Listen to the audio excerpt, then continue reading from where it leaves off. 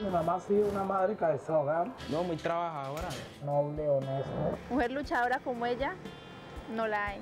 Ella tiene su llave, viene, abre y abre el negocio como si fuera ella. Es una mujer muy callada.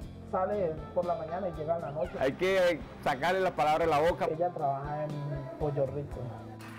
Acá me toca panar el pollo, fritarlo, sacarlo, y ya lo meten a la vitrina. Somos ocho hermanos Ya conmigo somos nueve. y a veces no teníamos para comer.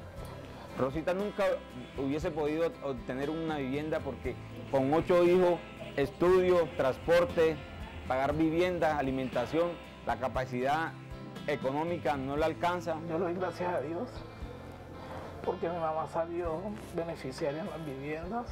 Y si mi Dios le dio la casa fue porque lo merecía, ¿no? Estamos entregando casas. Con doña Rosita, una convivencia muy buena. Ella ha sido buena vecina con nosotros, madre. Rosita es lo mejor que nos ha llegado a nuestra vida. Mamita, te quiero mucho y soy feliz por tu nueva casa. Me merece eso y mucho más.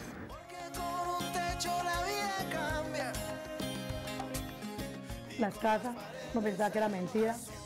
Y mire, ya.